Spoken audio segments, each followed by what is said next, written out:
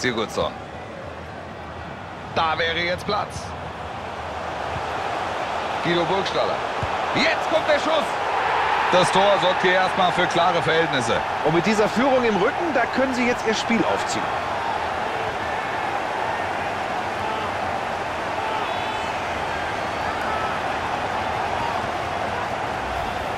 Das Ding war überfällig. Sie haben sich hier viele, viele Tormöglichkeiten herausgearbeitet.